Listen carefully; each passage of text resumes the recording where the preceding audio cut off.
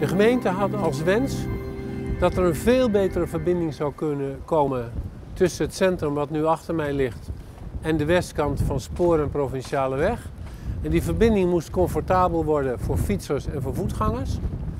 En natuurlijk was een prioriteit van de gemeente om werkgelegenheid te creëren in Zaanstad. En daarvoor dachten ze, hebben we eigenlijk scholen nodig, opleidingsinstituten, om mensen hoger in de, in de arbeidsladder te krijgen.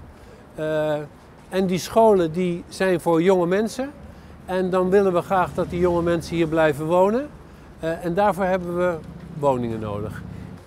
In al onze binnenstadsplannen proberen wij de openbare ruimte te krimpen, te krimpen, te krimpen. Waarom doen we dat? Zodat mensen aan beide kanten van die openbare ruimte niet alleen elkaar kunnen herkennen, maar ook met elkaar kunnen communiceren met hun blikken.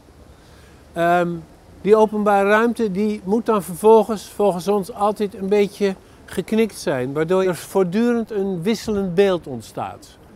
Wij zijn er heel erg voor om dingen te maken die mensen leuk vinden, waar mensen van houden, waar ze zich in thuis voelen. De Zaanse padenstructuren die komen hier en daar weer terug. Is natuurlijk heel bijzonder gelegen omdat het een gebied is met een enorme mix van functies.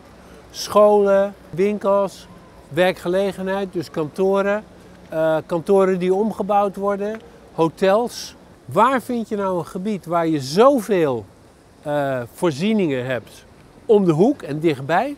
En aan de andere kant zo'n groen landschap waar je gewoon direct in kunt.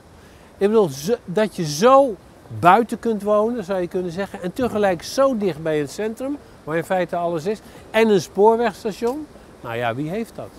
We zijn hier op 11 minuten per trein vanaf het Amsterdam Centraal. Eigenlijk is dit Amsterdam. Hè? Maar met één voordeel, dat de grondprijzen hier niet zo astronomisch hoog zijn als daar.